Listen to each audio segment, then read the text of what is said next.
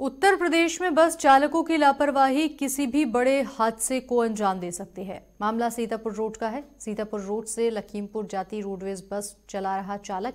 इतना लापरवाह हो गया कि चलती बस की स्टेयरिंग छोड़ दोनों हाथों में मोबाइल ले लिए। इस दौरान बस भी यात्रियों से खचाखच भरी थी। बता दें कि परिवहन निगम ने यात्रियों से अनुरोध किया था कि चलती गाड़ी में अचानक चालक मोबाइल का प्रयोग करे तो तुरंत इसकी सूचना विभाग को दी जाए। इसके बाद कार्रवाई की जाएगी।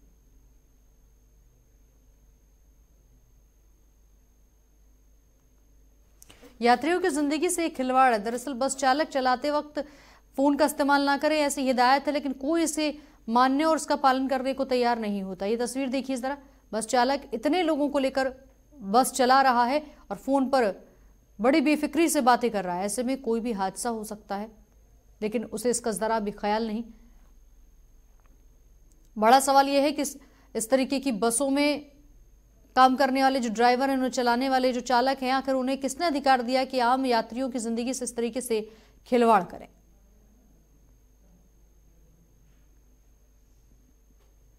एक्सक्लूसिव तस्वीरें इस वक्त हम आपको दिखा रहे हैं लाइव टुडे पर। डीपी शुक्ला हमारे हमारे वरिष्ठ सहयोगी इस वक्त फ़ोन लाइन पर जुड़ गए हैं। डीपी शुक्ला जी, तस्वीर काफ़ी कुछ बया कर रही है, लेकिन बड़ा सवाल यह है कि इस पर कार्रवाई क्यों नहीं होती?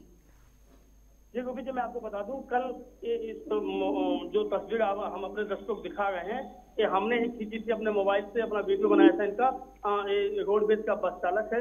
सीतापुर से साढ़े ग्यारह बजे कल की घटना है, साढ़े ग्यारह बजे सीतापुर से ये बस चली है, लखीमपुर के लिए, लखीमपुर डिपो की बस थी रोडवेज़ की। और चालक जिस तरीके से दृश्य देख सकते हैं, चालक अस्सी की स्पीड में गाड़ी चला रहा है और दोनों हाथों से मोबाइल से बात कर रहा है। वीडियो बनाया गया। उससे उसने जैसे देखा कि उसका वीडियो बन रहा है, वो काफ़ी बबूला हुआ। उसके बाद जो और खचाखच यात्री से बस भरी हुई थी, यात्रियों ने भी विरोध किया। कैसे कैसे उसको समझाने पे माना माना हो। उसके बाद वो गाड़ी खड़ी करके बात किया, तब वो गाड़ी अपनी ले गया। जिस तरीके से ये चल रहा है परिवहन निगम में, परिवहन निगम आँख मुदे वहाँ के अधिकारी आँख मुदे हुए हैं। और जो यात्री बैठे थे, उनका जान जोखिम में किस तरह डालते हैं, उसका ताज़ा जो नजीर है लाइव टूडे आपको दिखा रहा अपने दर्शकों को दिखा रहा है। जी। शुक्रिया आपका, जी, शुक्ला जी।